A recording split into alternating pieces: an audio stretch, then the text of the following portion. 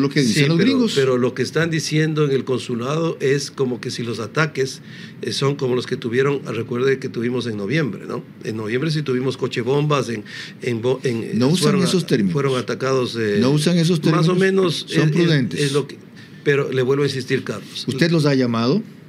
No, porque acaba de. ¿Ellos lo han llamado a usted? No me han llamado. Eso, eso es lo raro, porque lo, lo lógico hubiera sido que Ok. tomen contacto con el ministro del Interior, con el comandante general de la policía y sobre todo, porque cualquier fuente, cualquiera que sea, si no es del comandante general, el director de inteligencia o el ministro del Interior, no es una fuente oficial. Esto es grave. Es- No es una esto, me preocupa, habiendo tan, tanta cooperación y buena relación con los Estados Unidos. Ahora, una cosa más, ya oímos cuál es la advertencia que hace el consulado al público. ¿Cuál es la que hace usted al público frente a esa posibilidad? Mire, que la policía está desplegada en el territorio, los equipos de inteligencia están desplegados en el territorio.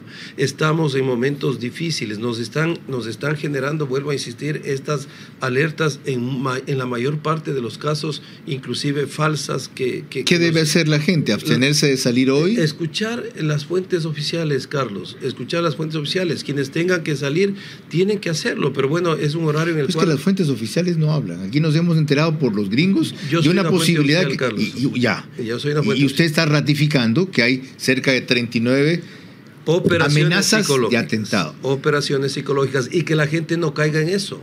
Porque al final lo que quieren estos grupos que necesi- necesitan generar el caos en el país es eso. ¿Se ha concretado alguna genere- de esas 39? Bueno, en, en dos fueron artefactos pequeños que generaron una dotación contra de. Se sabe lo que pasó en el terminal terrestre, tan psicoseada, paranoica, nerviosa, angustiada.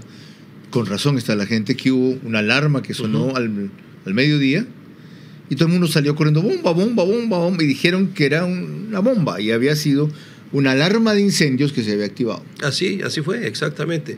Ahora, lo que yo le digo, Carlos, el país atraviesa momentos difíciles, no lo podemos negar. Antes nosotros no, te- no tuvimos atentados terroristas, aquí ya lo tuvimos en noviembre. Todos los 175 eh, blancos de alto valor que estuvieron involucrados en estos actos, ah, no todos, ¿no? pero la gran parte de la banda que generaba estos atentados, que, que hicieron reacciones, ¿por qué? Porque se hizo una planificación y una intervención en cárceles. Recuerde usted. Carlos, que en la mañana se generaron los ataques eh, tanto a UPCs como, como con bombas explosivas en Durán, en donde tienen eh, obviamente territorio los chonequiles, porque pensaron ellos y les llegó la información que Policía y Fuerzas Armadas iba a intervenir el pabellón de ellos. Cuando se dieron cuenta que eso no fue, Durán paró. Ergo- y cuando ergo- intervenimos, Carlos, porque no nos dejamos y, y no, no suspendimos las operaciones, obviamente se genera la intervención eh, y las explosiones en Guayaquil. Si sabe la conclusión implícita. Que se hace alguna gente cuando usted nos explica esto, ¿saben qué? Entonces dejen las cárceles en paz para que no estalle la guerra afuera.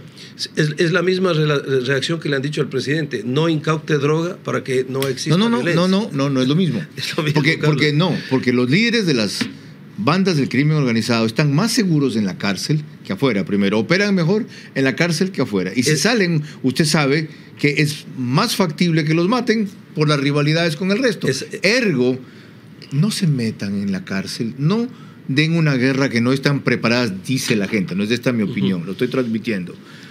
Eh, para- preparados para librar y no estallan las repercusiones afuera. Carlos, eso es. eh, yo, yo considero que la fuerza del Estado tiene que sentirse.